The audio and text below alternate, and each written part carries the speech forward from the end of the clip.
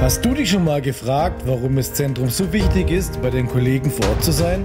Als gewählte Betriebsräte bieten wir allen Kollegen bei Fragen und Problemen im Betrieb eine kompetente und engagierte Unterstützung an.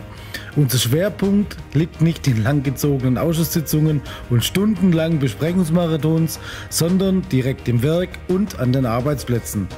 Wir sind zur Stelle, wenn es Auseinandersetzungen im Betrieb gibt, wenn beispielsweise übereifrige Vorgesetzte oder Personaler den Bogen überspannen.